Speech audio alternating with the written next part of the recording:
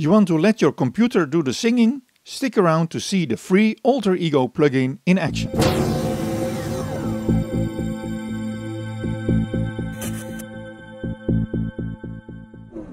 Alter Ego of Plogue is a real-time singing synthesizer plugin which is already been around for a few years now but it's a plugin that's one of a kind and really worth looking into. And the great thing is, it's free.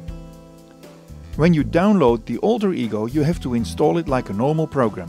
And when it's installed and you start it up in your DAW, you will find it is still empty. It has no voices in it, so you also need to download two free voices and drag them to the graphical interface of the plugin. It is all explained in the PDF manual of Alter Ego which you can find at the download page of Plogue. After dragging one or two voice banks to the Alter Ego, the only thing you have to do is type lyrics in the text area. And there is space enough for 120 lines of text. Good to know you can save these texts as a preset. Now all you have to do is play your MIDI keyboard to hear the words sung by Alter Ego. Let me sing this song for you. Let me sing this song for you. Standard it is set to monophonic and it sounds a bit flat as you play the notes. But if you move the modulation wheel of your MIDI keyboard you can give the voice some vibrato. The higher you slide the modulation, the faster the vibrato will be. If you learn how to work with this, you can make some impressive voices. Let me sing this song you. When you play notes that are not overlapping each other, Alter Ego will switch to a new vowel or word on every note. But if you play overlapping notes, it will stay on that word and just move to the new note. Let me sing this song for you.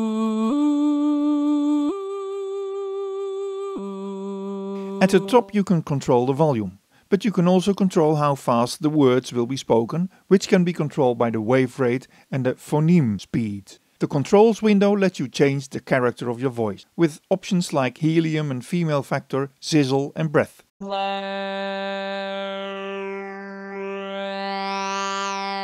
me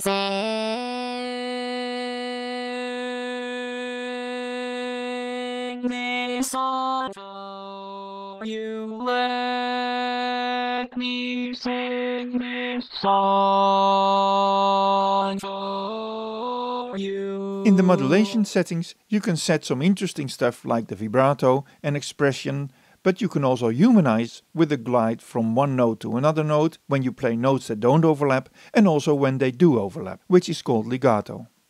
Let me sing this you. Let me sing this song.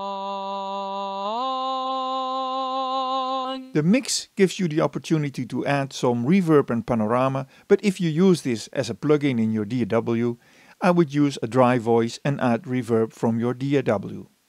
One little button at the top switches the whole thing to poly mode so you can play whole choirs on it, but then the glides don't work, but you have more notes to play with.